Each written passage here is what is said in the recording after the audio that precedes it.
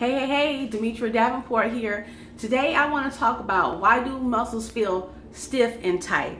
Um, some of the common causes of stiff and tight muscles include exercise, soreness, muscle knots, um, overuse injury, arthritis, inflammation, and medication side effects.